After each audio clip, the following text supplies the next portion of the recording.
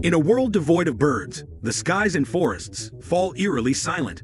Our narrative opens on a planet where the absence of birds has profound ripple effects across ecosystems. Pollination and seed dispersal, once facilitated by birds, come to a standstill, severely impacting plant diversity and forest regeneration. This loss leads to drastic changes in flora, with far-reaching consequences for all living organisms. The absence of birds also means the unchecked proliferation of insects, leading to imbalances in natural pest control mechanisms. Agriculture suffers without the natural predation birds provide, leading to increased reliance on chemical pesticides, which further harm the environment. Culturally, the world has become a poorer place. Birds, with their varied songs and colors, have inspired art, music, and literature throughout human history.